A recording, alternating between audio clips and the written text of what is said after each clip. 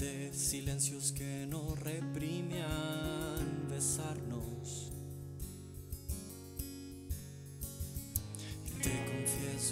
Hola, ¿cómo están? Buenas tardes. Soy Cintia Céspedes, en realidad soy la Cin, siempre lo digo.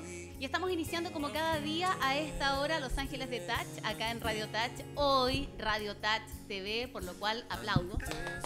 Me encanta que seamos Radio Touch TV. Mati, te saludo. ¿Cómo estás? Ya no hay una cámara que te apunte. ¿Qué pasó, Mati? ¿Qué pasó? No, no le gustó tu imagen a los auditores. ¿Qué fue lo que pasó, Mati? Cuéntame. ya bueno, vamos a saludar a nuestro radiocontrolador. Ya, ahora está apuntándome a mí. Ya, te la robé entonces. Ya, quiero agradecer a todas las personas que a esta hora están conectadas. Voy a aprovechar de conectar mi red social inmediatamente. Compartir. Nunca sé hacer esto, pero creo que le un té. Ya, ahí sí. Aprovecho de conectar con mi Face, con mis redes sociales, para darles la bienvenida y agradecerles al, al poco porcentaje de chilenos que nos están viendo porque sabemos que están conectados con el eclipse a esta hora. ¿Sí o no? Mati, ¿querías ver el eclipse o no? ¿No te interesaba? Te interesaba, pero te tenemos trabajando acá, si ese es el problema. Ya. Sí, tenemos que, tenemos que estar acá, ya. Oye, quiero darles la bienvenida a un programa bien especial, un programa que la verdad yo lo llamo como un especial eh, distinto. Siempre estamos hablando de cosas sociales, siempre estamos hablando de cosas que tienen relación con la inclusión, con el feminismo asertivo, con las mujeres, con los hombres, etc. El programa del día de hoy está dedicado exclusivamente a la humanidad. Sabemos que cientos de venezolanos ingresaban a nuestro país diariamente y miles, miles de ellos han ingresado hasta el minuto, así como miles de cubanos han ingresado, han ingresado también a nuestro país, miles porque llevamos muchos años con el tema de la inmigración, pero hoy día es un tema que está latente y que es contingente y que no solo se habla, sino que además es un tema que tenemos que hablarlo. Lamentablemente, el tema de la inmigración en nuestro país ha generado cierta odiosidad y, por qué no decir, ha desarrollado cierta xenofobia que no teníamos los chilenos hace 10 años, por ejemplo, pero que hoy sí manifestamos en la piel y en nuestro comportamiento. Sabemos que estamos ya rodeados de haitianos, de venezolanos, de colombianos, de cubanos, etcétera. Pero lo que está sucediendo hoy día, por ejemplo, en Chacayuta, allá en Arica, con todos los venezolanos que llevan días o que por lo menos han estado días durmiendo a la intemperie, es algo que incluso podríamos comparar con algunos cubanos que se ahogan en el mar a diario también por escapar de su país.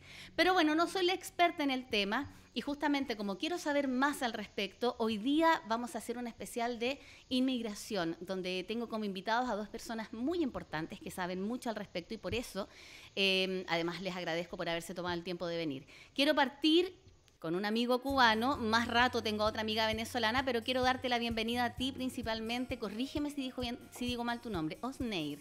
Muy bien, muy ¿Sí? bien. Muy Osneir, bien, te voy a pedir que pongas el micrófono así frente a ti y me mires.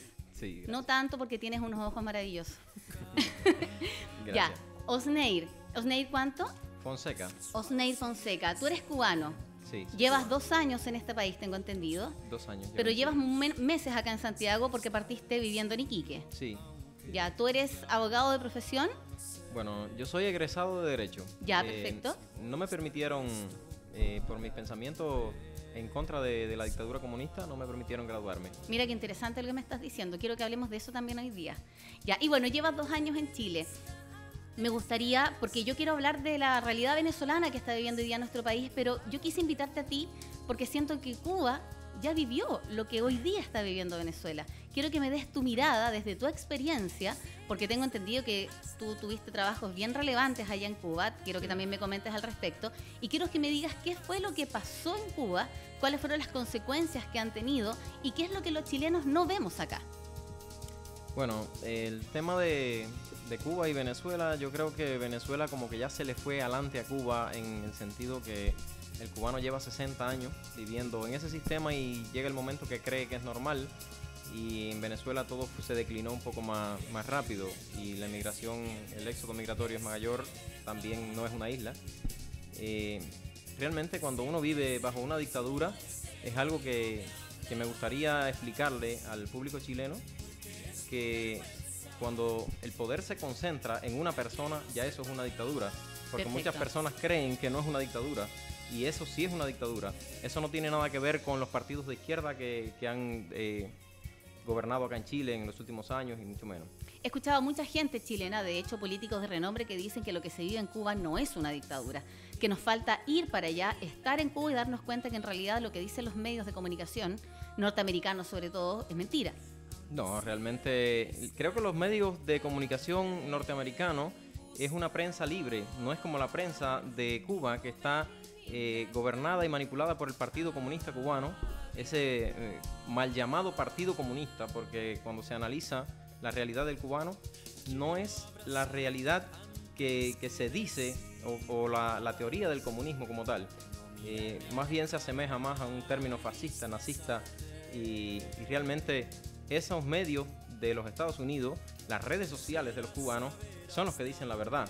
La verdad la dice el pueblo venezolano que ha tenido que salir emigrando de su país por un régimen eh, totalitario. También dictatorial. Claro. Y el pueblo cubano que, que, prefiere enfrentar los peligros de la selva del Darién, prefiere enfrentarse al mar. Eh, muchos mueren, pero necesitan la libertad y solamente lo hacen por la libertad. Entonces creo que, que esa es la verdad. La verdad no es la que dicen ellos hay muchos medios o métodos que usa la dictadura cubana para doblegar y subyugar al pueblo y aparentar que son felices dentro de Cuba. Pero ¿Cómo era tu vida en Cuba antes de venir, antes de decidir estar acá? Bueno, mi vida en Cuba, eh, yo siempre le he dicho a todo el mundo, yo fui un cubano adoctrinado, nacido en ese sistema, donde yo no conocía la verdad del mundo. Cuba eh, todavía no lleva con seis meses de internet en los celulares, para Mira. que tengan un ejemplo del atraso que hay que nos han aislado de, del desarrollo precisamente para que el mundo no conozca la realidad del cubano y vean al, al sistema cubano como un paradigma, como un sistema eh, progresivo, idílico, próspero, claro. Idílico, que es lo que muchos comunistas quieren en nuestro país. Exacto, creo que eso, el pueblo chileno no debería permitir eso. Si yo le digo a todos los, los que tengan un pensamiento de izquierda, un pensamiento comunista, que, que no pueden desearle al pueblo chileno a un pueblo que vive y goza de una libertad tan linda como se vive aquí, eh, ser como Cuba. Eso me encantaría que me, lo, que me lo describieras bien, porque yo sí siento que estoy en un país que es libre. Ahora muchas personas dicen, claro, porque tú tienes privilegios, porque eres una persona de una clase social distinta. Eh, y claro, uno es de, en, en mi, eh, en mi caso personal, yo soy de clase media baja, tampoco soy ABC1 y me siento muy libre de muchas cosas, pero siento yo que la pobreza no tiene que ver con esa libertad o no libertad que se vive en, en, en Cuba. Claro, la pobreza es una cosa y la libertad es otra. Eso, eso a eso quería llegar. Eso, eso hay que demostrarlo. Eh, por ejemplo, eh, acá es un derecho constitucional manifestarte en contra del gobierno, del que esté en turno o de cualquier ideología. Y no te vas preso. Y no vas preso, es un derecho tuyo. Más bien te protegen, las autoridades te protegen tu vida, te protegen eh, de, de, que te puedan agredir los, de, los opositores a tu, a tu partido político, a lo que tú defiendes o contra lo que tú protestas. Eso es algo que no pasa en Cuba. En Cuba ni siquiera la, la comunidad gay pudo hacer una, una marcha Lo que se hace en el mundo entero. Sí, lo Entonces fueron reprimidos brutalmente, como todo el que se, se manifiesta en Cuba, eh, de cualquier manera. En- de hecho, en Cuba hay una ley, eh, hay leyes para censurar eh, artistas, eh, hay leyes también que te prohíben la- el derecho de, de agruparte o de reunirte con más de 10 personas a hablar de política. No se puede, está prohibido en Cuba. Y si tú quieres hacer un carrete en tu casa, por ejemplo, con más de 10 personas y se ponen a hablar de política, Bueno, no se puede. No se puede, realmente no se puede. La policía te agarra en eso y te separa enseguida y te manda a cambiar el tema o te, o te rompe la fiesta. Perfecto. Así, eso, es- esa es la realidad de Cuba. Eh, acá eh, nosotros hemos hecho, digamos, protestas en el mundo entero, hemos podido hacer eh, protestas pacíficas y, y hemos tenido la libertad y el derecho de hacerlo. Imagínate acá, en otro país. Exacto, incluso en otro país donde son policías que no, que son chilenos y nos cuidan a nosotros para, nos dan ese derecho también. Es un derecho de la constitución de aquí, pero que también se le da y se le ofrece ese derecho y esa libertad a los extranjeros que estén acá en Chile. ¿Y qué mane- de qué manera estás manifestado tú? ¿Cuál ha sido tu experiencia respecto a la a, tu propio reclamo de tu, de tu país, del gobierno de tu país, mejor dicho? Bueno, eh, acá en Chile el 26 de enero pasado nosotros hicimos una protesta que le llamamos la protesta de los prohibidos exigiendo que se liberaran unas cuantas prohibiciones absurdas que hay en Cuba, que se las voy a decir, que son prueba también de, de esta dictadura totalitaria que, que le dirige la vida a las personas. Y entonces, eh, hoy yo escuchaba algo en un referente sobre esto y le pongo el ejemplo. No es lo mismo controlar el tránsito que controlarte donde tú tienes que ir. Y Mm. entonces eso pasa en Cuba. Te controlan hasta donde tú tienes que ir, lo que tienes que hacer, lo que tienes que decir y no puedes decir nada que no te oriente en ello. Eh, Por ejemplo, dame un ejemplo de eso, porque muchas veces los que estamos en este otro lado del mundo y que de verdad tenemos una realidad distinta, una realidad de libertad diferente, donde nuestro único problema puede ser tal vez que no nos alcance para la universidad, que tengamos un sueldo bajo y que no deja de ser terrible, pero no es que nos prohíban hacer cosas. Dime, por ejemplo, qué cosas, o sea, a qué nivel llega ese control. ya, por Lo que compras, por ejemplo, a ver, para comer. Por ejemplo, las cosas son limitadas en Cuba. En Cuba se, el gobierno, se, que eso es algo que le, le- le transfirió a Venezuela también, a lo que en Venezuela le llaman el CLAC, en Cuba le llaman la canasta básica, que es un por ciento de comida muy poca, que escasamente te duraría para una semana. Por ponerte un ejemplo, eh, 250 mililitros de aceite para un mes, para una persona, comer. ¿En serio? Y Cuando uno hace, usa eso para freír pescado que en Chile. claro. Así mismo, eh, es un poco ilógico.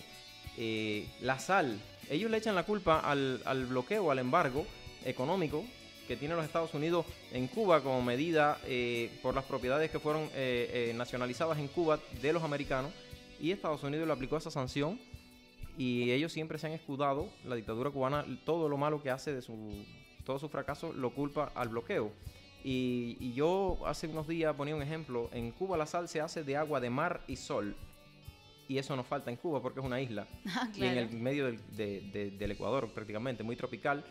Y hasta la sal es regulada. No tú, no, tú no puedes adquirir la cantidad de sal que tú quieras a un precio módico. No lo puedo creer. Increíblemente es así. Es cierto, tengo una amiga que viajó hace poco. Y es cierto que tú llegas allá y al, al turista que llega a Cuba, o sea, yo hablo desde mi inexperiencia, al turista que llega a Cuba, muchas veces tú vas, no llegas a hoteles, puedes llegar a casas comunes y corrientes y tú pagas con trueque. Porque a la gente le gusta recibir cosas, más que recibir plata, porque la plata en realidad da lo mismo. ¿Es tan cierto eso? Claro, eso, eso es una manera, esto realmente, yo trabajé en el turismo en mis últimos años en Cuba y, y eso es, eh, es un intercambio que, que se ha autorizado porque también eh, hay, hay muchas cosas en Cuba que son difíciles de obtener y bueno, el cubano te da algo y tú le das algo, es un intercambio solidario, que eso yo no lo veo mal. No creo que sea una moneda de cambio como tal, porque no en todos los lugares se usa, ni todo el mundo, ni todos los negocios. Pero eh, sí es muy aceptado porque, por ejemplo, una polera que aquí te puede costar 2 lucas, en Cuba te vale 10 dólares. Pero 10 dólares es el salario mínimo de una persona en un mes. O sea, de una persona que, que trabaja en aseo, que trabaja en cualquier eh, tipo de este trabajo de esta categoría. Eso es lo que gana, 10 dólares al mes. 10 dólares norteamericanos. 10 dólares americanos que vendrían siendo, no llega a 7 lucas aquí. Claro. O sea, 7 mil pesos chilenos no llega en un mes. ¿Cómo vives con 7 mil pesos chilenos allá? ¿Cómo vive esa persona? Bueno, Porque esa eh, persona tiene hijos, claro. tiene esposo, esposa. Es bien difícil de, de- O sea, es triste y vergonzoso tener que decirlo así, pero es la realidad y para eso estamos aquí, para decir la verdad.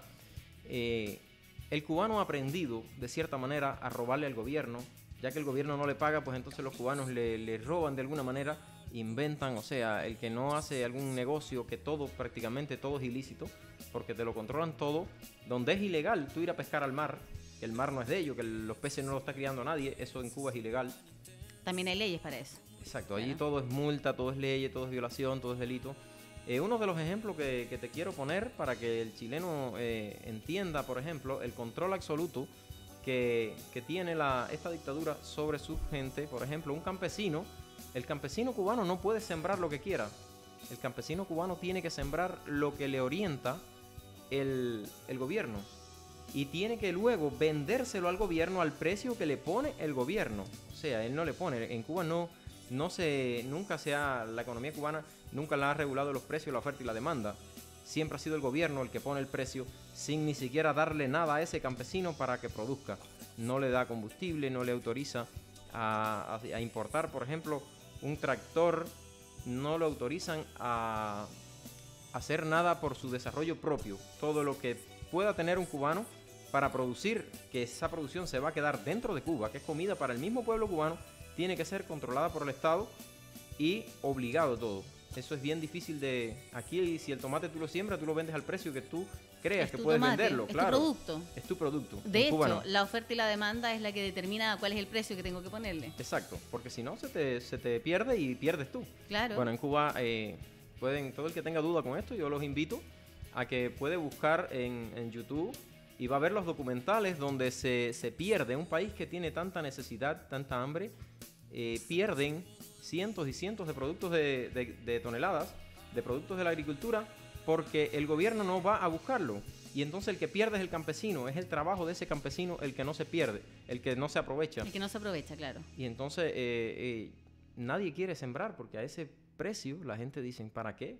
Es que por eso el- lo hacen. Exacto, Esa es la intención, en definitiva. claro. Yo pienso que eso es una estrategia política para tener el pueblo entretenido, porque la realidad del cubano, del cubano de a pie, del cubano... ¿Cuál es el cubano de a pie? El cubano de a pie es el, primero el 90% de la población cubana, es el cubano que no tiene ni siquiera eh, el médico que va en una, en una bicicleta a su trabajo. El que no tiene auto en estricto Exacto, rigor. no Ya. tiene auto, pero no tiene lujos, no tiene posibilidades de, de vivir como viven los hijos de, de los dirigentes cubanos, que realmente eh, estos dirigentes son, digamos, eh, ellos sí tienen lujos, tienen yates.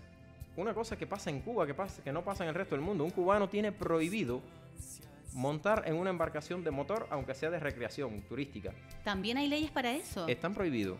No te puedo creer. ¿Y cómo lo hace el hijo del dirigente que tiene un yate y que monta uno de estos Bueno, automóviles? mm, eh, realmente ellos pueden violar las leyes, los que no podemos violarlas somos nosotros, porque ellos son eh, intocables. ¿Cómo, ¿Cómo era tu vida allá? Delante me estabas contando, pero dime, ¿estabas Ya. bien?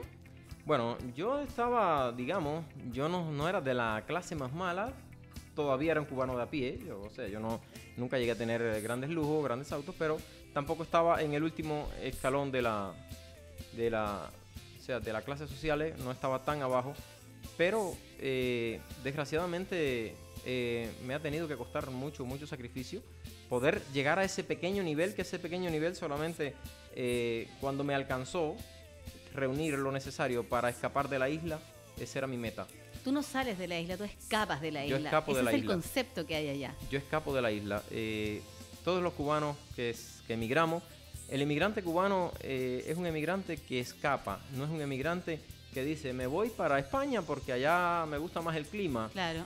El, yo tuve que salir, mentirle a mi propia familia porque todo se tiene que hacer tan en secreto que no lo puede saber nadie porque llegas al aeropuerto y te dicen, estás regulado y no te dejan viajar. ¿Y qué significa estar regulado? ¿Cuáles son los motivos para regularte en este Bueno, rigor? esos motivos ni siquiera ellos mismos los dicen. Son tan variados y tan amplios que porque le da la gana a ellos, porque una persona se expresa libremente, porque una persona, porque tiene miedo. Hace poco una amiga mía venía aquí a Chile a, a un foro eh, y no la dejaron venir porque es una persona que, que es simpatizante de mía, simpatizante de, de algunos disidentes cubanos, de personas que, que decimos la verdad, de algunos líderes que reunimos personas y agrupamos personas para que conozcan la realidad de Cuba y se nos sumen en esta lucha en contra de esa dictadura y a favor de la democracia de Cuba.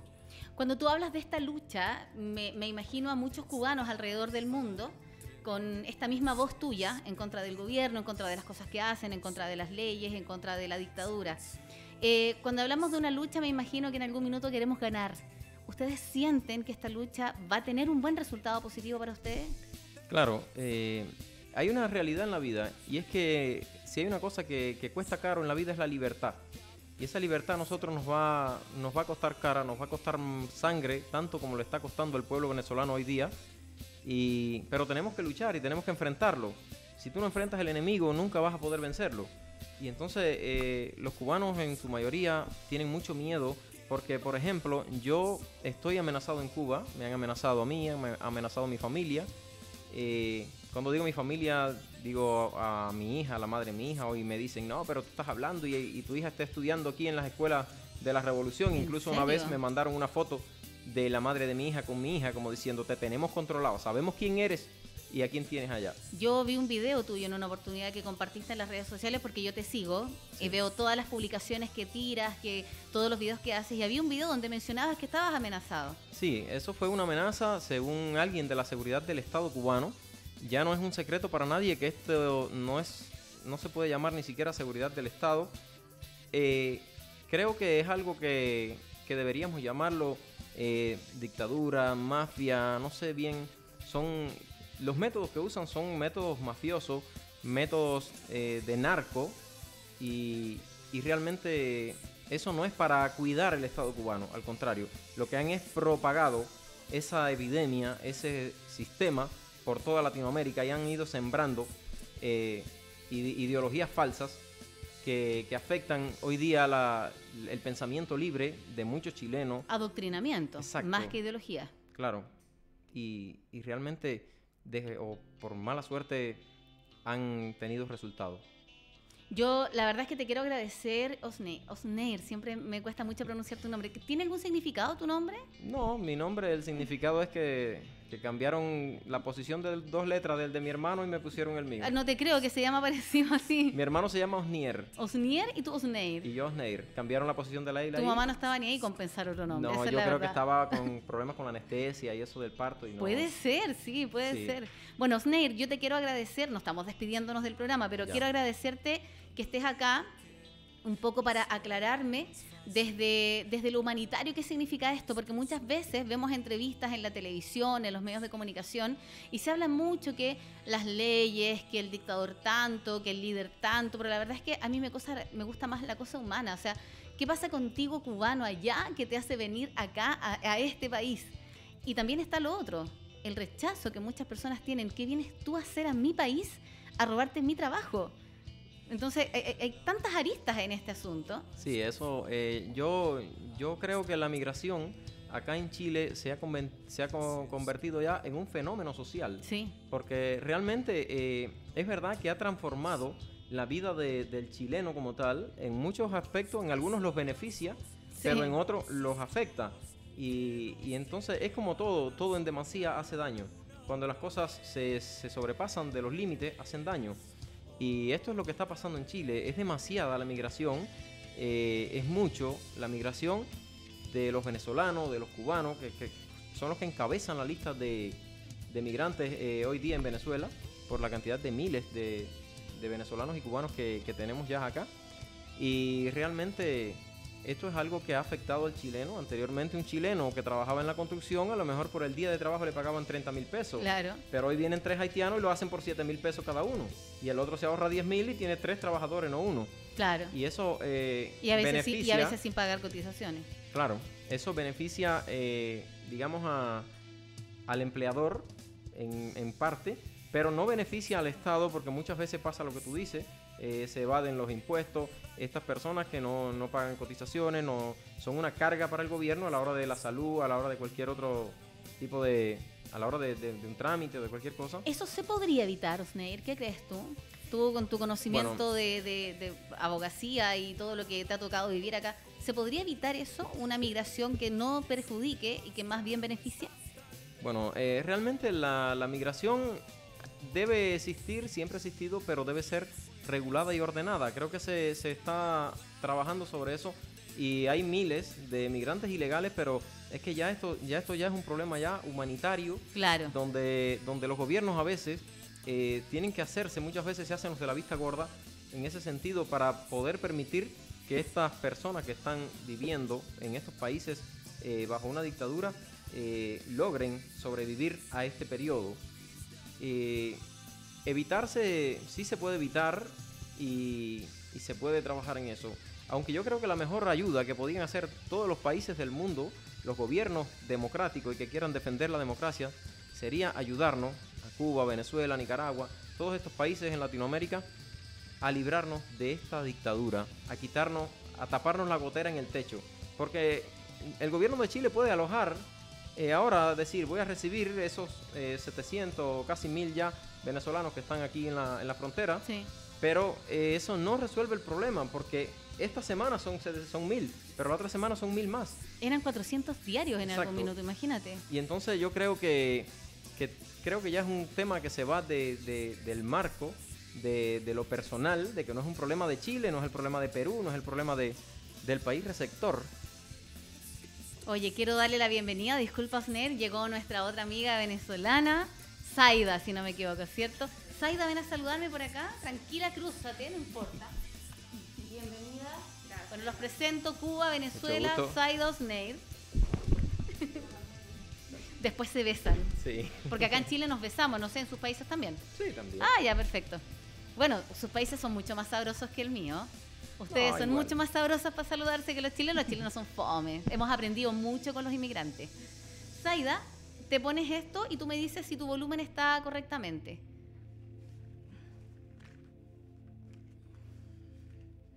¿Está bien? ¿Escuchas la música? ¿Me escuchas a mí? Sí.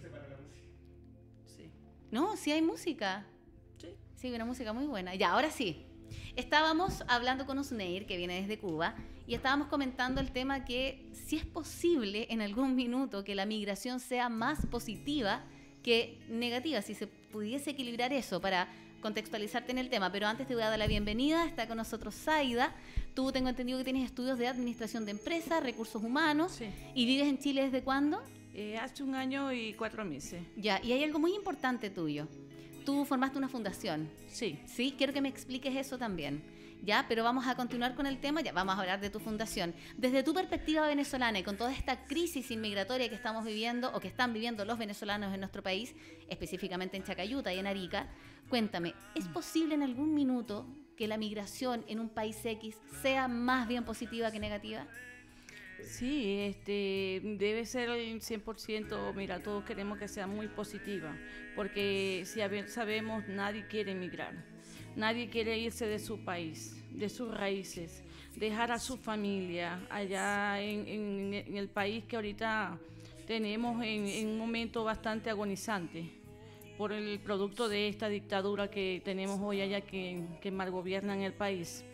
Y, si bien este, las personas están dispuestas a, eh, a emigrar a un país que le, que le abran los brazos para poder ellos seguir adelante, luchar por su familia, darle un bienestar, ya que si nosotros teníamos un, un bienestar en el país y de pronto se nos acaba, miramos hacia otros países donde podemos y, y pensamos que podamos eh, seguir adelante, como muchas veces pasó eh, hoy nos tocó a nosotros los venezolanos, pero anteriormente eh, fueron muchos los que inmigraron Claro. a nuestro país. Yo conozco la inmigración no porque la viví, porque recibí muchos. En mi casa mi mamá los acobijaba a los colombianos. Cuando llegaban y se iban por la sierra, y llegaban, mi, mi, donde yo soy, del pueblo donde yo soy, es fronterizo. Colombia está al lado. Está al lado, es cerca de nosotros, yo soy del Zulia. El. Zulia está a, a hora y media de, de Colombia. O sea, y tenemos la sierra de Perijá, que por allí venían los, los colombianos porque no tenían también documentación, el problema de la parte legal. Quiero, quiero hacer un paréntesis ahí a propósito que me hablas de Colombia, porque tenemos acá que nos están viendo desde Colombia. Es un amigo mío, se llama Hernando Fajardo, y ella dice que, bueno, él dice lo mismo que estás diciendo tú, que en Colombia también existe dictadura. O sea, uno, uno está en Chile en el paraíso, vivimos en una burbuja y no notamos en realidad lo bien que estamos en relación a nuestros vecinos. Me gustaría, Hernando, eh, si me estás viendo, si me estás escuchando, eh, bueno, yo le pedí a Hernando si me podía hacer un video, al final nunca le mandé la pregunta que, que quería hacerle, pero me gustaría saber si, si es que pudieses hacerlo ahora, que nos dijeras cuál es la realidad de tu país. En dos minutos, en un video así como selfie, me lo mandas al WhatsApp y acá lo transmitimos para que sepamos de qué se trata un poco la dictadura también colombiana, que hoy día es desconocida, porque se habla mucho de Cuba, se habla mucho de Venezuela, pero de Colombia se habla casi nada. Ya, sígueme contando entonces. Bueno, y por eso es que uno eh, sabe lo que es esto y, y ahora lo estamos viviendo nosotros. eh, no es fácil, no es fácil inmigrar. Y bueno, eh, muy agradecidos estamos con Chile porque realmente aquí no, no han abierto los brazos, eh, hay, buen, hay un buen entendimiento. No hemos visto todavía esa xenofobia. Eh, habrán algunos comentarios, pero realmente yo me he topado con muchos chilenos y estoy muy agradecida de Víctor Reyes, que es el director de la fundación, porque cuando yo tuve, tomé esta iniciativa, preocupada por, por cómo están llegando nuestros hermanos venezolanos en la situación, eh, no es lo mismo que en tres años atrás, ahora este tiempo, ya están desgastados eh, por todo lo que, el alto costo que ha habido en el país, en Venezuela, eh, vienen con, la, con lo, lo poquito que, que les alcanza, llegan eh, con lo- el mero pasaje, digamos así, Claro. con, con el mero pasaje para llegar hasta, hasta Chile. ¿Por qué Chile? Bueno, precisamente por eso, por la buena acogida que nos han tenido a nosotros, porque se ha eh, escuchado de otros países la xenofobia, pero del mismo Colombia también ha recibido demasiado, pero también se escucha, o sea, el- lo poco, el poco trabajo que se consigue, la calidad de vida, y eso es lo que la gente anda buscando, una tranquilidad, una paz. Pero ¿cuál es tu opinión que te, que te merece ahora lo que está sucediendo en Arica, en la frontera de nuestro país? Bueno, este, te puedo decir que eso también es producto por, eh, eso no se va a acabar, Cintia, eso no se va a acabar mientras el país siga en el problema que tiene ahorita, siga, la gente va a seguir saliendo. Sabemos muy bien que Chile este, tampoco es un país, eh, un, un país pequeño en población y, y tampoco podemos nosotros todos los venezolanos pretender que Venezuela se mude para Chile porque no vamos a caber aquí. Y yo entiendo la política del presidente y, tenemos que también aceptar. Que pasa también que ah, este, han venido como muchas personas buenas. También se está tratando de evitar de que también salgan personas malas porque no vamos a mentir de que estos 20 años el gobierno lo que creó fue eh, la mentalidad de muchas personas, más que toda la parte de eh, los jóvenes que pudieron haber agarrado ese mal camino del chavismo, de la facilidad, de la delincuencia. Y eso es lo que entendemos, lo que el país de Chile quiere hacer. Por eso ponen estas normas y ya por deber tantas, tanto la, la inmigración masiva que está llegando. Y me consta porque con la fundación nos damos cuenta y palpamos todas las semanas cuando llegan las personas. Nos, nos dicen, tengo dos semanas que llegué, una semana que llegué y sabemos muy bien. ¿Cuál es la labor que cumple la fundación? ¿Cómo se llama la fundación de partida? Eh, Andrés de Jesús Bellos, Andrés de Jesús, de Jesús Bellos, Bellos. inmigrante venezolano. Perfecto. ¿Y cuál es la misión? ¿Cuál es el objetivo de ustedes y para ir en ayuda de los inmigrantes que llegan? Bueno, el objetivo de nosotros es eso, eh, cu- cubrirlos a ellos, orientarlos, en este caso el invierno, darle un abrigo y bajarles la información de cómo ellos aquí eh, poder proceder para sus documentos, los pasos a seguir, informaciones de, de- de trabajo, todo para que ellos puedan tener una, una formación aquí, este, un- un- se puedan adaptar a este ambiente, a este país y todas las normativas que el país tiene. Y toda esa información estamos también eh, bajándoles talleres, cursos Ya. la parte laboral. ¿Cuál es el financiamiento que tienen? ¿De dónde lo sacan? Mira, nosotros nos estamos ayudando uno con los otros. Ya, perfecto. Es lo más hermoso que hay. el porque- venezolano que está bien acá ayuda a la Sí, fundación. ya. el, el venezolano, el chileno también. Este, tengo la fundación de Raíz, Flor y Fruto, la señora Margot, que tiene una fundación desde hace 20 años también. Ella nos ha abierto las instalaciones. Y bueno, muchas, muchos aportan, las mismas personas este, nos llaman para los donativos de los abrigos, eh, comida, eh, algún, algún, algún un artículos que ellos les puedan, eh, lo puedan utilizar. Y Si las personas, por ejemplo, los chilenos que nos están viendo quieren ayudar porque hemos tenido uno de los inviernos más fríos y más crudos eh, de la historia, de que yo recuerde, ¿podemos ayudar, por ejemplo, o ponernos en contacto con la fundación y ayudar? Sí, claro, ¿Sí? con los brazos abiertos los recibimos, todos los que nos puedan donar, colchones, cobija, eh, hasta calzado, calzado Perfecto. para el frío y abrigo. ¿Y esta fundación está en ayuda de la gente que está en el norte o, o no, han alcanzado? Bueno, a eh, no hemos alcanzado hasta allá. Eh, apenas tenemos como dos meses, vamos para tres meses. Ah, llevan recién. Estamos muy recientes, y- pero hemos eh, avanzado muy bien y gracias a Dios unos buenos contactos y es lo que nos han eh, orientado y nos han este, abierto las manos y bueno, aquí estamos y nos dan el aporte, la Sí. ayuda. Bueno, a pesar de, de la pequeña xenofobia que hoy día se está desarrollando en los chilenos, porque nunca fuimos xenófobos, pero hoy día yo he visto muchos chilenos que sí están contaminándose un poco de eso. A pesar de eso, igual somos solidarios. Nos, nos caracterizamos por ser un país solidario. Respecto a los cubanos, ¿existen fundaciones también de este tipo o agrupaciones, ONG que vayan en ayuda de los inmigrantes? Sí, bueno, eh, hay una, crea- una fundación creada, se llama eh, eh, Fundación Cubano-Chilena. El director se llama Rafael Seiro, una persona muy seria, muy correcta, muy buena persona. Es una fundación igual, sin fines de lucro, eh, autofinanciada por nosotros mismos.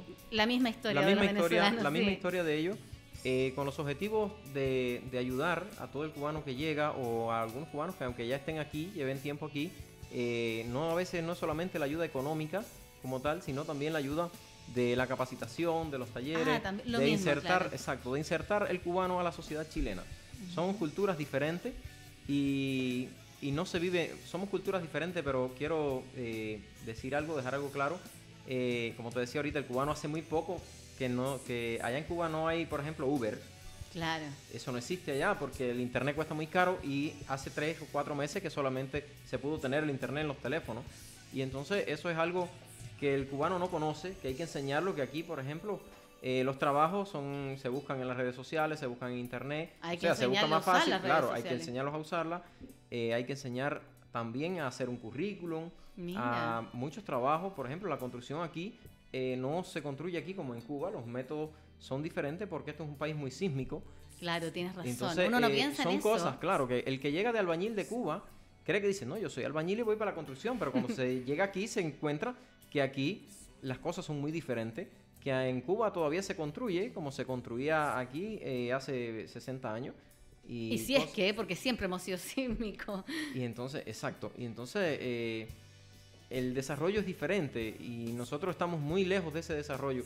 Y entonces esta fundación tiene como objetivo actualizar el pensamiento del cubano, in- insertar este cubano a la cultura chilena para que pueda entender al chileno y el, chileno aceptarlo de mejor manera. No podemos llegar nosotros a imponernos nuestra cultura, nuestra manera de, vivir aquí, porque realmente nosotros somos los que vinimos a Chile. Y entonces se intercambian las culturas, pero la de nosotros no puede imponerse. Y entonces esto pasa mucho eh, con todo. La, la alimentación no es igual, las maneras de, de alimentarnos. Eh, a un cubano tú le dices, te voy a dar once y se ofende. Dice, no, eso no es comida. en realidad, Sí. el chileno, son muy, es, es muy, un porcentaje muy poco de chilenos que cena. Nosotros tomamos 11, bueno, hay algunos que después vuelven a cenar, pero nosotros tomamos 11. Sí. Y a veces en la 11 es parte de lo que te quedó del almuerzo, lo ponía en la mesa. Sí, Claro. pero es verdad, el lenguaje, bueno, un poco lo que tú dices, pues insertarlo en esta sociedad. Claro, hay que Aprender a chilenizarse un poco. Exacto, hay que chilenizarse. Y Ya. esto es algo que le falta mucho a, a los cubanos, más que el venezolano llega, en comparación con nosotros, un venezolano llega y a la semana ya está viviendo prácticamente normal. El cubano se siente un poco más extraño porque el venezolano, a pesar de estar en una dictadura, tuvo mejor desarrollo que nosotros. Tienes razón. Tuvo su internet, las cosas funcionaban normal. Tú, por ejemplo, ¿qué edad tienes, José? ¿Podem- ¿Podemos decir tu edad? Sí, claro. Ya, ¿qué edad tienes tú? Bueno, yo eh, 36, cumplo Ya. 37. Tú tienes 37, o sea, Sí. tú naciste en dictadura. Yo nací en Tú no dictadura. sabes lo que era vivir no, no en dictadura. No, yo me asombré, yo me asom- mm, quedaba asombrado en Iquique cuando yo veía a las personas haciendo una protesta y yo veía a los carabineros cuidándolo. Cuidando la protesta, entonces, claro. Yo, los amigos míos me lo decían y yo no lo creía hasta que no lo vi. Y entonces esa es la realidad del cubano. Que hoy yo, yo compartí en las redes sociales un video donde un policía hacía un acto eh, de heroísmo salvando a una muchacha de un atraco, de un asalto, y yo decía, ¿cómo los policías cubanos no hicieran esto? Porque realmente están, y eso pasa mucho en Venezuela, donde tú ves al policía reprimiendo el pueblo, dándole golpe al propio La pueblo, incluso pero de parte de cada la- día aumenta más el nivel de delincuencia, de delincuencia, de violencia, de todo. Y entonces eh, realmente ese es el uso que le están dando estas dictaduras a estos cuerpos que cuando que, que están pagados por el propio pueblo, que el pueblo es quien le paga su salario, y entonces ese es el uso, el mal uso que le están dando estos gobiernos.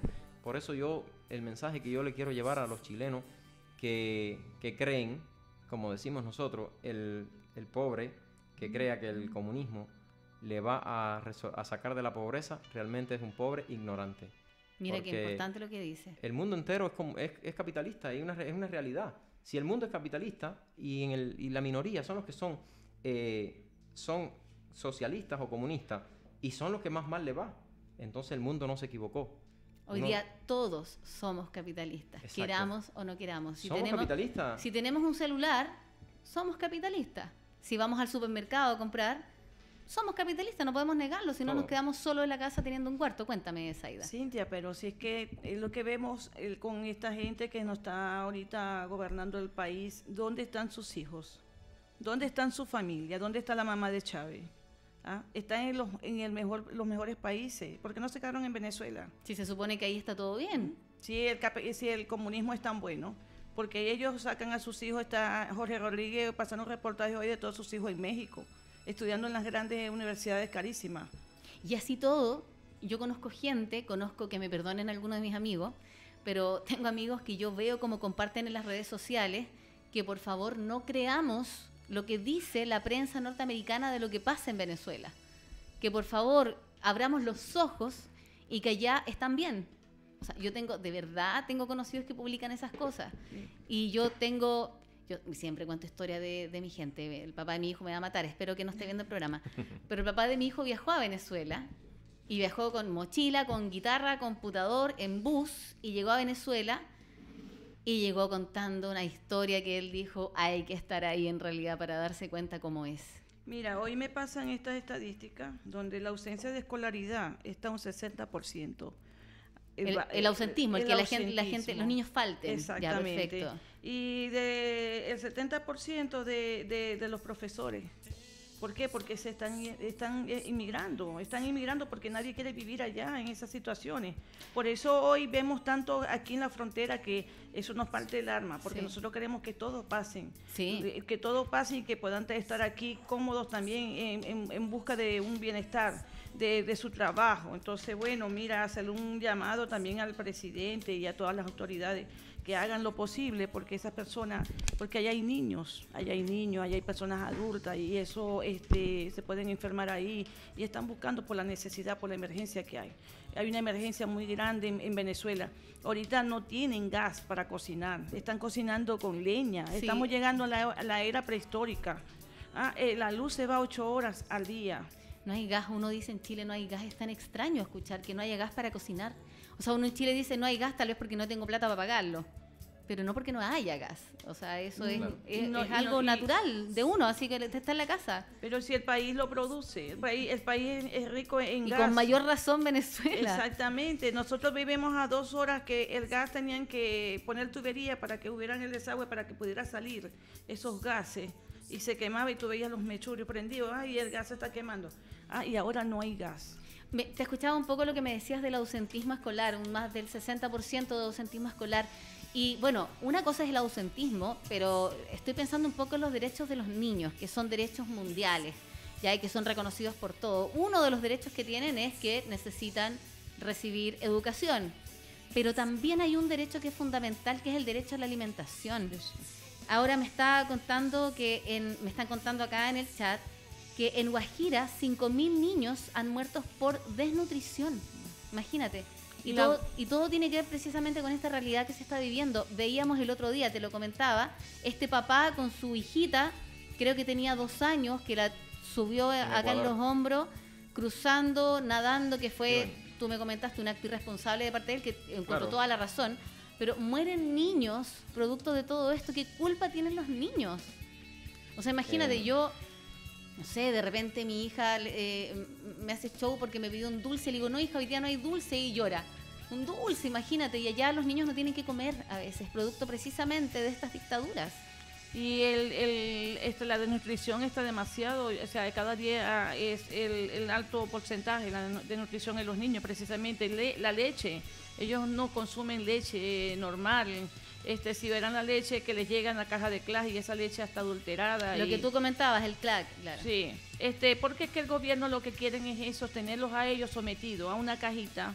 Gracias a Dios, a los que inmigramos, podemos darle hoy una estabilidad a nuestra familia allá porque les enviamos recursos y allá pueden ellos comprar su alimento, porque ahorita está dólar- dólar- dólar- el dólar está pre- eh, prevaleciendo más que la moneda eh, Del país. venezolana del país. el bolívar? El Bolívar, el Bolívar, es soberano, fuerte, eso lo han, lo han modificado demasiado, que ahora allá todo se compra en dólar y en peso. Pesos colombianos porque está cerca de la frontera y van a Colombia y compran los alimentos, o dólar.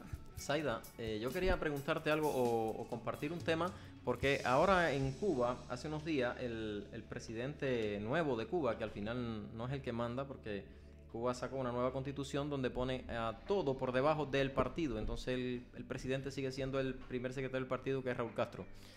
Eh, anunciaba un aumento de salario y yo le decía, ¿cuántas veces han subido el salario en Venezuela de 2016 hasta acá, por ejemplo, para ponerte un ejemplo? Subían el salario, después subían los precios, subían el salario y los precios. ¿Para qué subían Y el salario? Entonces, al final eso es, eso es inflación. Es disimular la crisis, es hacerle creer al pueblo que los están ayudando, que ellos tienen intención de ayudarlo, pero lo que le aumentan por un lugar, se los quitan por otro. Y entonces lo dejan peor. Porque si realmente cuando tú quieres resolver el problema para todos, tú lo que haces es bajar los precios y ya. Porque otra, otra estrategia de esto, de- le decía yo a, a mi gente en Cuba, le digo, esto es una justificación de que van a subir el salario para subirle a los militares porque son las fuerzas represivas, porque están defendiendo sus ideas que en otro tiempo engañaban al pueblo, ya no pueden seguir engañándolo, y ahora están defendiendo las ideas a punta de pistola, a tiro y a golpe. Y entonces, eh, que nos comente ella en, si en el tiempo que lleva eh, o que pasó allá, cuántas veces... eh, porque yo tengo un amigo que trabajaba conmigo que me decía, dice, de un día para otro era increíble. Yo iba a comprar una hamburguesa hoy, cuando iba mañana con el mismo dinero, no me alcanzaba para la hamburguesa. Y entonces, porque subía todos los días un poco más y un poco más, y era increíble eso. Y entonces que tú lo expliques, porque yo también estoy compartiendo esto, para que el pueblo cubano vea que el engaño no es un experimento, que ellos no están experimentando ahora con Cuba, que ya eso ellos lo experimentaron con Venezuela, porque yo a veces cuando yo conozco a un venezolano, lo primero que le digo es, yo soy cubano, pero víctima del régimen igual que tú. Porque hay, yo reconozco la culpabilidad que ha tenido el gobierno cubano, no el pueblo cubano, la dictadura esta cubana Sobre con Venezuela. Venezuela, Sí. que se le, se le pegó como un parásito, se ha succionado la economía de Venezuela y eh, quiero aprovechar para decir un, digamos, un chiste o algo así que me hizo una señora. Estoy hablando en cuanto Chávez tomó el poder. eh, me llama un día y me dice, Osneir, ven acá, mi amigo, que a ti sí te puedo hacer este chiste. Y me dice, dice, oye, tú sabes que le preguntaron a, a Luis Posada Carrile que por qué quería matar a, que, que qué él creía de Fidel Castro. Y, y Carrile di- le dijo, yo creo que Fidel hundió. Y le dijeron, pero si es un dios, ¿cómo tú quieres matarlo? Y él dijo, no, no es que es un dios, es que hundió a Cuba y va a hundir a Venezuela. y te estoy hablando en cuanto Chávez tomó el poder, donde De todavía aquella época. donde todavía, donde esa mujer me hizo el chiste, muchas personas con visión larga lo, ya lo, lo- lo ve- lo veían venir y realmente hoy están los resultados en 20 años. Eh, con Maduro fue mucho más rápido el, el decline porque se aumentó la, corru- la corrupción, es mi criterio, tú puedes hablar Sí. más de esto, pero eh, creo que, que yo veía los videos donde en un aló presidente, porque un presidente de un banco no le agarraba el teléfono a Chávez, al otro día Chávez le quitaba el banco, se lo compraba forzosamente. Y entonces él empezó a desmembrar esa economía próspera que Venezuela en ese, en, antes del 98 era uno de los mejores países de Sudamérica para Eran invertir, ricos. para vivir, para todo. Sí, eran ricos. Mira, eh, te puedo decir que te voy a hablar de la zona de donde yo, de donde yo soy. Eso es una zona ganadera, agropecuaria. Y ahí habían cuatro plantas de elaboración de leche en polvo. Era la que surtía toda, casi toda Venezuela. De ahí, desde allí, Parmalá, Indulá, Campeolá, ellas surtían toda Venezuela. Eran las haciendas mm, más grandes que habían en producción de leche, la cantidad de litros que habían. ¿Y qué empezó? Chávez empezó a, expropiarla. Por eso estas empresas quiebran. Después ellos y toman ellos la posesión de la industria y más nunca se vio esa- esas empresas sacar esos productos.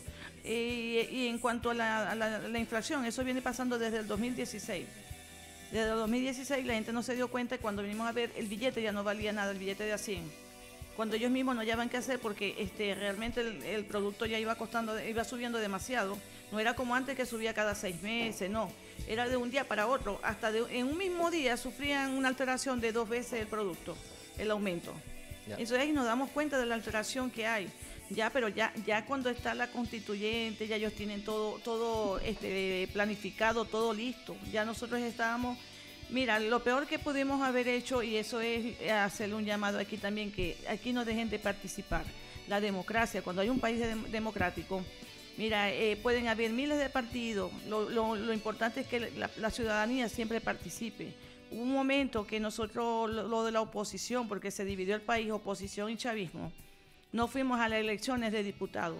Y ahí es donde él hace todo el cambio, la modificación del Congreso, de las leyes, del CNE, de todos los ministerios. Él, coloca todos los ministerios a, a dedo y no lo hizo como, de- como lo decía la Constitución. Y es donde nosotros tenemos ahí, el, el- ahí es donde Venezuela se mete en el gran problema como está ahorita, que no ha podido salir de eso, por lo que pasó. Gracias a Dios ganamos la asamblea, eh, que está ahorita actualmente, en mayoría, y bueno, es lo que hemos podido y todavía estamos en ese trance de a ver qué es lo que se puede lograr, conseguir.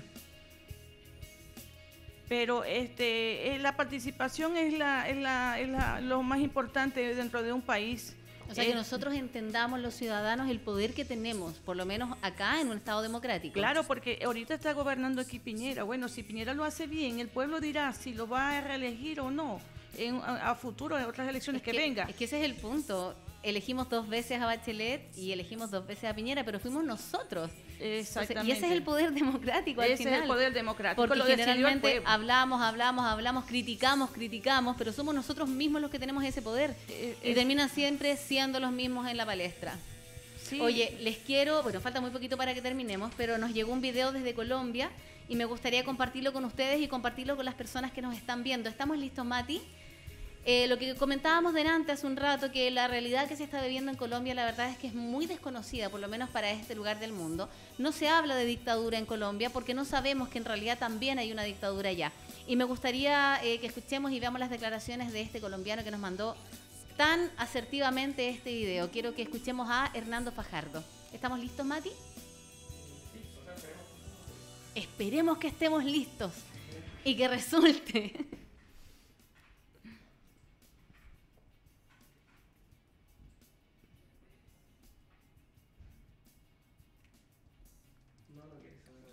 ¿Se puede el audio o no se puede? ¿Y si pides ayuda, Mati?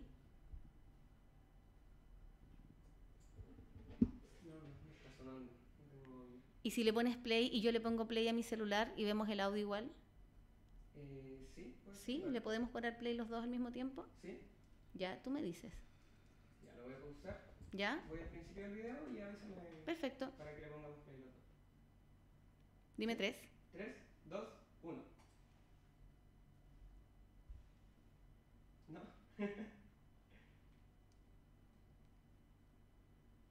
¿No suena en tu celular? No. Mati, ¿por qué no pides ayuda? Porque me importa tanto que salga este video al aire. Eh, Mientras tanto, tengo dos preguntas súper importantes para mis invitados. ¿Ya? Me gustaría, chiquillos, que habláramos específicamente de eh, que me den su opinión, su opinión humanitaria respecto, en tu caso, a lo que está pasando con los venezolanos hoy día. Hablaban de niños que estaban obstruidos, hablaban de, de madres embarazadas, hablaban de personas que tienen que estar durmiendo a la intemperie. O sea, es tan terrible como las personas que están, como los cubanos que tienen que cruzar nadando.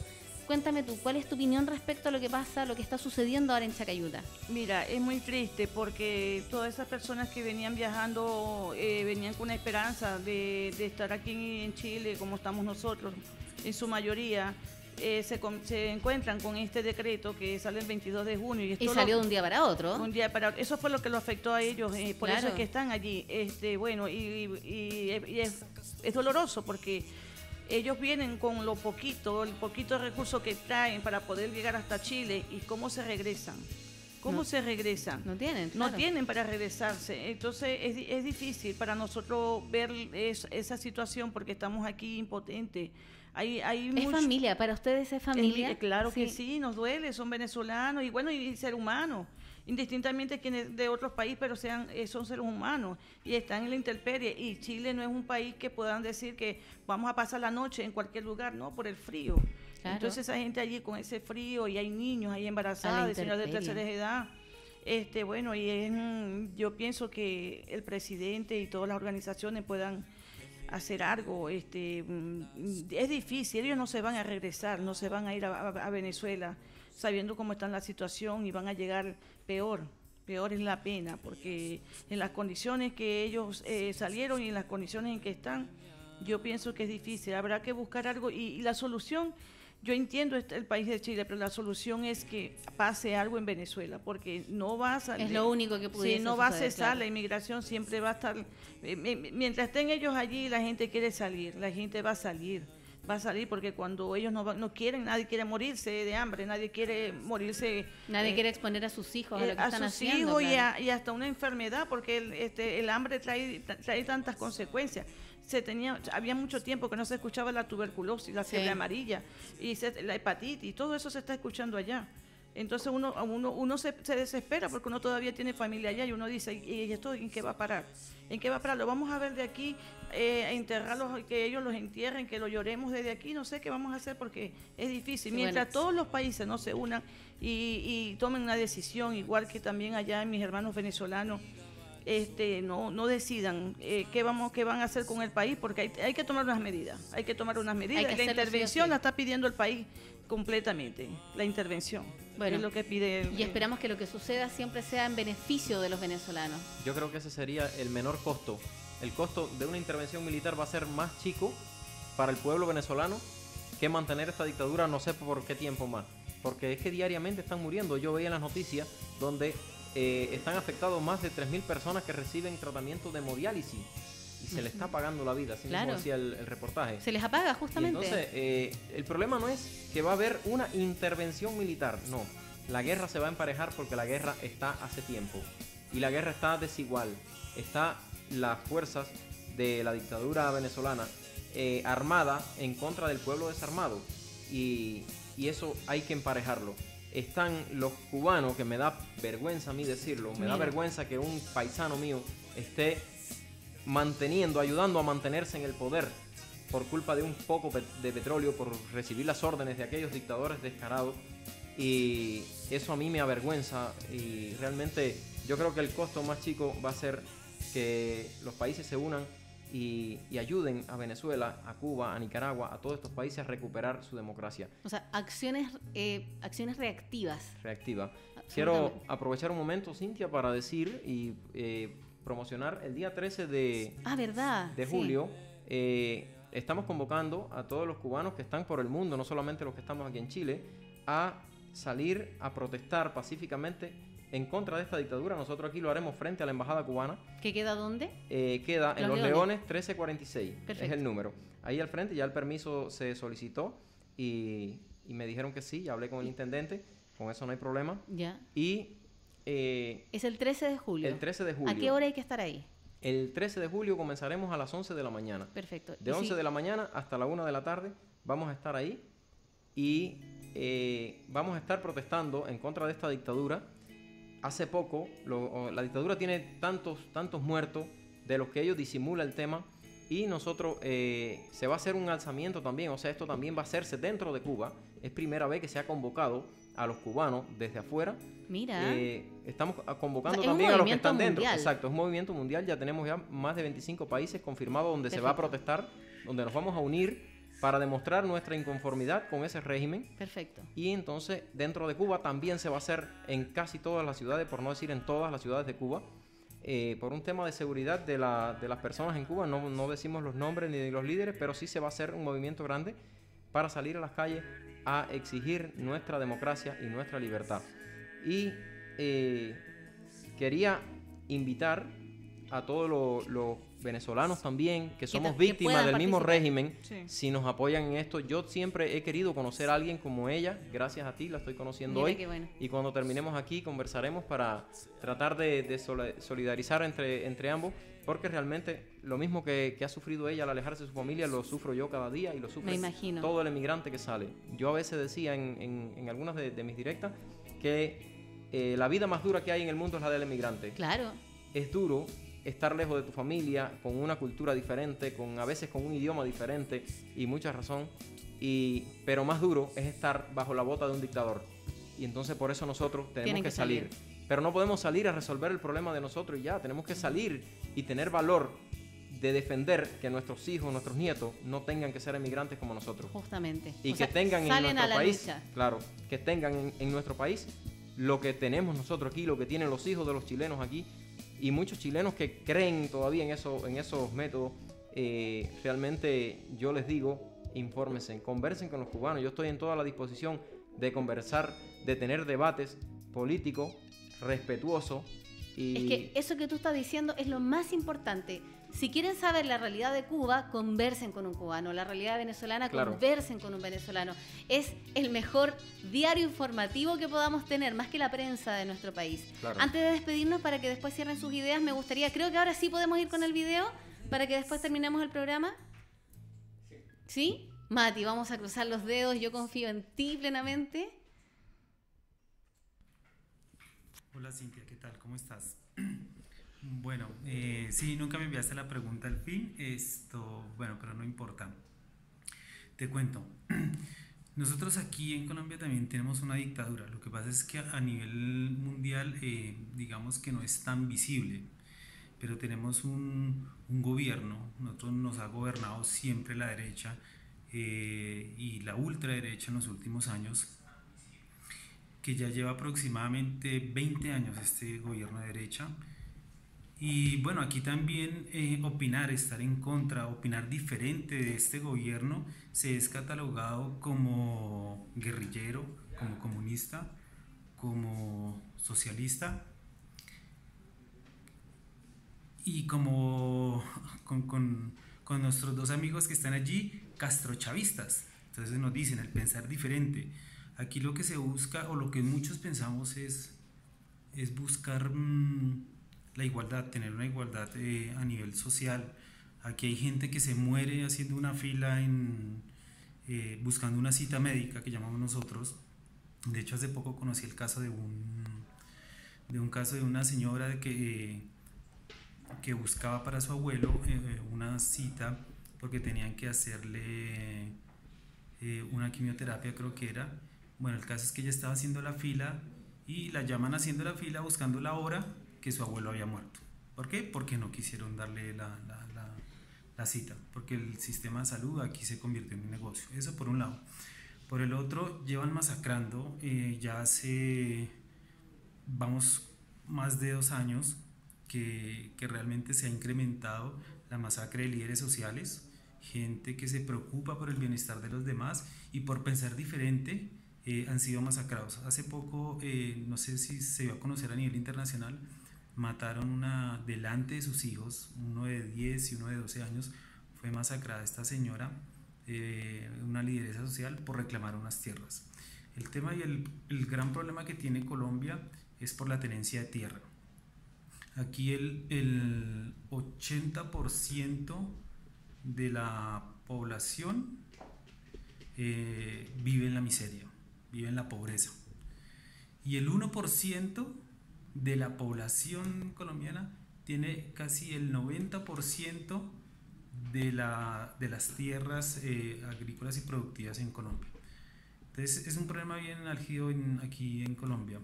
Entonces por eso te digo, igual nosotros tenemos una dictadura, y el nombre, y eso es con nombre propio, lo digo así, se llama Álvaro Uribe Vélez, fue expresidente, hoy actual, actual senador, y él es el que ha puesto a los últimos presidentes. Se fue, eh, fue presidente durante dos periodos, se hizo reelegir eh, fraudulentamente, por eso hay investigados, por eso, los, por eso hay gente que se fue a la cárcel, pero fueron los más pequeños, los grandes que, que, que participaron en esto no, no, no, fueron, no fueron condenados.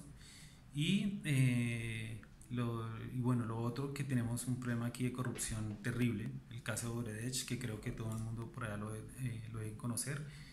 Es el único país donde no, por ejemplo Perú, Perú es de admirar porque ellos tienen cinco presidentes, uno se mató porque ya iba para la cárcel, pero han condenado personas y aquí los grandes responsables nunca han sido condenados, porque somos un país muy de gente muy, muy corrupta.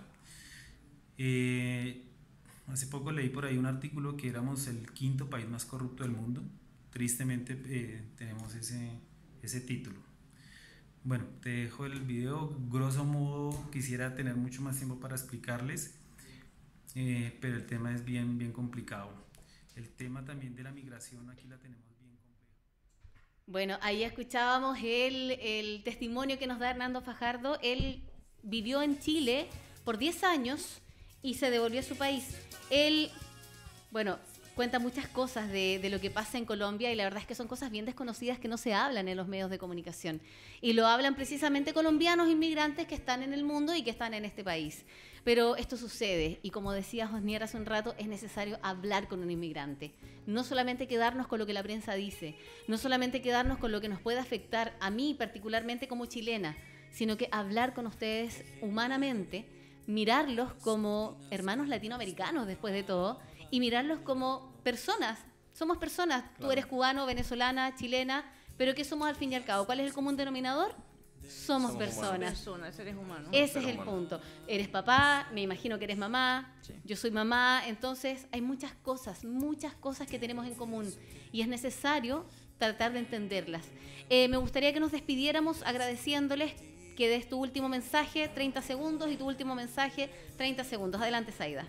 Bueno, mi mensaje es que en Chile nos reciban con los brazos abiertos porque hay, mira, no es por nada, Cintia, pero hay muchos profesionales. Sí. Muchos profesionales y dentro de la fundación también tenemos muchos profesionales. Eh, hoy hice una lista y, y enorme los profesionales que hay, médicos, eh, economistas, periodistas, ingenieros, me- bueno, cantidades de profesionales, que es la, también el aporte que venimos a hacer aquí en Chile también dar este, de nuestro de nuestra profesión y lo mejor lo mejor que podamos dar que lo que queremos es eso El conocimiento. el conocimiento Aportar con el aportar conocimiento. ideas y conocimientos y nuestra experiencia Muchas gracias, Saida. Osnir, 30 Bueno, segundos para Ya, despedirnos. eh, yo quiero decirle que pedirle al pueblo chileno que nos apoyen, pero que nos apoyen no, no solamente abriéndonos la frontera, porque eso es, para mi criterio, eh, tomar la gotera abajo con un jarrito. Perfecto. No, a quitar, a sellar el techo, a salir de estas dictaduras que por décadas ya están, han quebrado varios países, están quebrando la ideología. Y bueno, un mensaje también, una pequeñito, al amigo de Colombia, respeto mucho su criterio, pero hay que ver el, a qué él le llama pobre en Colombia cuando hay ya pasa de un millón de venezolanos allí. Entonces, cuando tú comparas el pobre de Cuba, no es el pobre de aquí. Perfecto. El rico de Cuba es el pobre de aquí. ¿Entiendes? Una persona, eh, tu auto, aquí lo tienes tú con tu salario, tus dos trabajos, no sé qué tienes, pero tienes la posibilidad de tener un auto. En Cuba nadie, ni con Nadie. 10 trabajos puede tener un auto, a no ser que robe o que sea del gobierno y el gobierno se lo facil- facilite. O un artista que salga al mundo y venga con dólares, porque con el dinero y con lo que ofrecen esas dictaduras, nadie puede tener un auto.